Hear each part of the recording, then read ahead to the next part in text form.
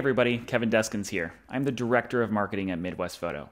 Now, you may remember me from our last Fujifilm sneak peek video on the 50mm f1.0 lens.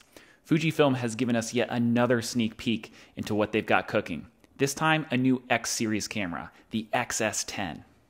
Now, I do want to get into who and what this camera is for, but before we do that, I do just want to get into the nitty gritty of it. This camera has almost everything the X-T4 has. In-body image stabilization up to five stops, a 26.1 megapixel sensor that's on the X-Trans version 4 sensor, and it does boast 4K at 30 frames per second and 1080 at 240 frames per second. Not to mention it does F-Log recording and will do 422 10-bit on HDMI out. It's pretty impressive, all in the size of an XT100 or XT200 but with a little bigger of a grip. Now, I'm an XH1 shooter, and I am blown away with the amount of features they were able to pack away into this little guy. I was able to carry, uh, for a day of shooting, 35 f2, 50 f2, 23 1.4, SmallRig compact top handle, and a Rode VideoMic Go into a Think Tank Retrospective 4 shoulder bag. It's one of the smallest camera bags on the market.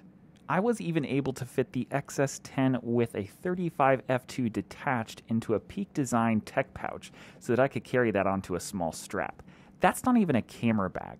That's how small we're getting with this advanced Fujifilm technology. This portable and intuitive camera is capable of both great images and video. So to test drive it, I asked some friends and their kids to a pumpkin patch to capture some memories for them since Halloween is right around the corner. Now, of course, as always, it delivered amazing Fujifilm color. The XS10 also allows me to shoot F-Log, which allows me to kind of color correct and grade after the fact, which is an amazing pro feature for such a compact and affordable camera. You're probably asking, who and what is this camera for? And that's a great question.